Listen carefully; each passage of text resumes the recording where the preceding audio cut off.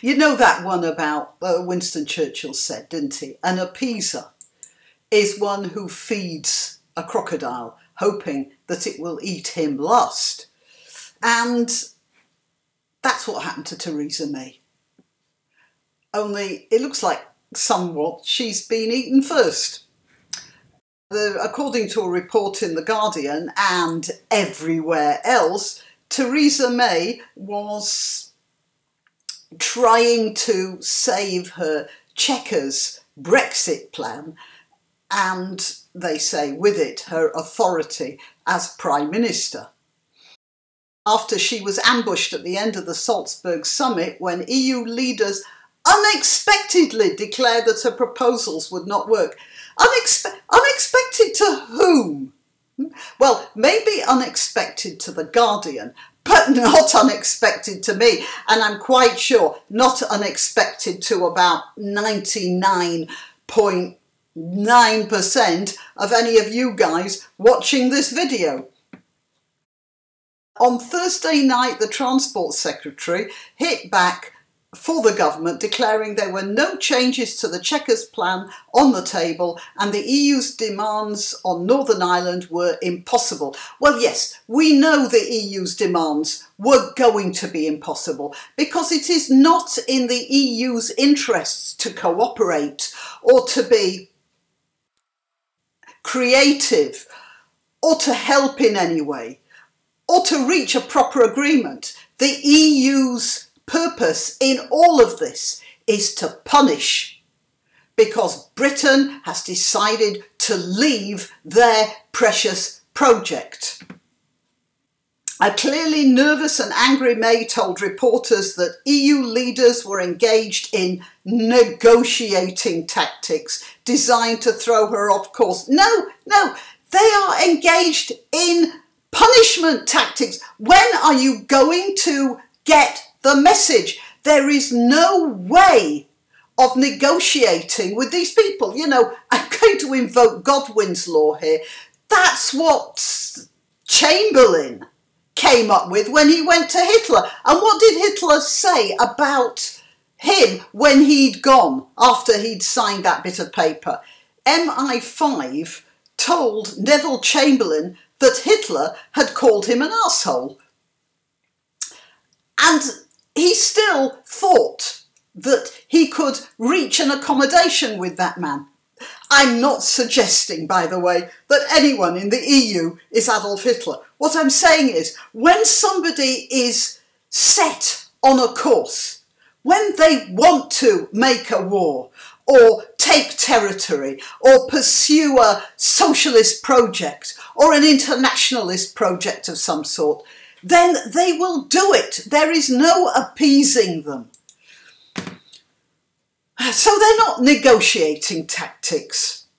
They are power plays. And I, don't know what the EU think they're going to do because, you know, you push Britain into a corner. That's not going to help. And to a certain extent, they, I think they've overplayed their hand. I certainly hope so. It says here the Prime Minister told reporters that Chequers was the only way to ensure that trade could flow freely across the Irish border after 2019. I, am explaining uh, to people who may not be aware of this.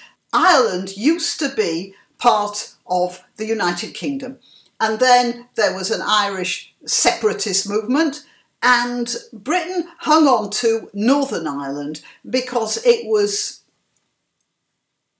mostly Protestants in there, and the argument was that the Catholics would mistreat the Protestants, and there was a, good deal of evidence at the time to say they would. Now, the border after the various peace processes that have gone on, the border between the Northern Ireland and, and Éire, the Republic of Ireland, has been very porous. There's, you know, no checkpoints, a lot of cross border trade. And before it was cross border smuggling, there's no real difference. And since the Republic of Ireland is still in the EU, uh, there would have to be, uh, it is argued, a, a more stringent border between the two, which will uh, cause trouble. And this is part of Theresa May's problems. I'm not saying that it's a completely trouble free process. Nothing in politics ever is cut and dried. But something could be arranged if the EU were prepared to help out. You know, it's very odd, this. I've often considered the, um, the state of Israel.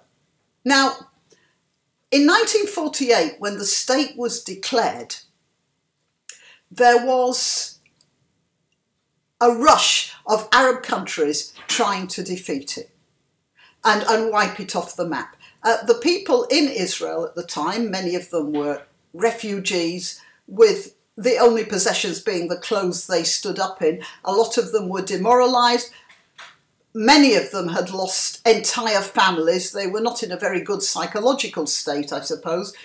And the country was very poor. It was also extremely underpopulated. I don't know what the figures were like, but I don't know. I think there was something like 400,000 people. I'll look it up at the end of this video and, uh, and put the, the number up uh, on the screen. The Arabs attacked and the Jews knew that there would be nothing left if they didn't fight. So they did fight and they fought very hard. In fact, they fought so hard they actually pushed the Arabs back, which was a big surprise to everyone. And they weren't getting much help from anyone. They certainly weren't getting help from America or Britain. They managed to smuggle some arms, I think from Czechoslovakia or stuff they'd managed to capture it was a big surprise when they prevailed. And after that, the Arabs slammed their fists on the table and said, We're going to seal those borders. And they did. And because of that, Israel was in a, a sort of pressure cooker environment.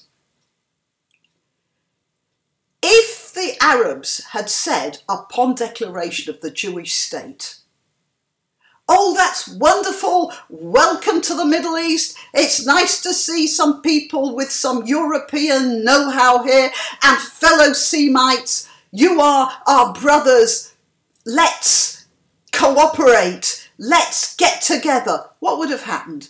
All the Jews who had previous experience in business would have gone to on the across the open borders to Amman and Damascus and Cairo because that's where the businesses were. That's where the infrastructure was set up. There wasn't any infrastructure to speak of in, in Israel at the time when it just started out.